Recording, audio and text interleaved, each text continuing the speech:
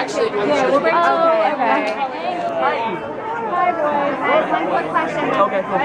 New Year's resolution. New Year's resolutions. New, New Year's resolutions. Um, I was gonna say enjoy the moments that you have. You I want to work out a little more. this guy wants to work out. Yeah. On the road, we eat so much junk food. Enjoy those moments when you're I super sore when you wake up in the morning. I know.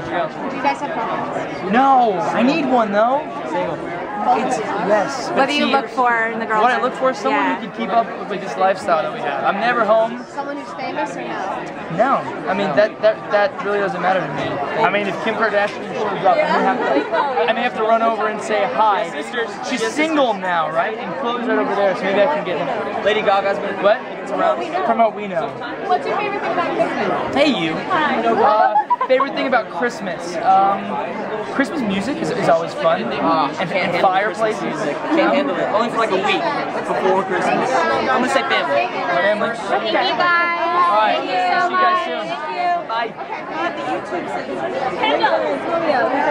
Oh, you, you're his friend. Oh, well, nice to meet you. Oh, say hi for me. I've missed you, Sal. How are you doing? Good. How are you? Good to see you again. I just want to say a quick hello. Yes, thank you. everybody. Appreciate it. Have fun at the show. Good. guys Always great to see you guys. Only one from you. Happy holidays.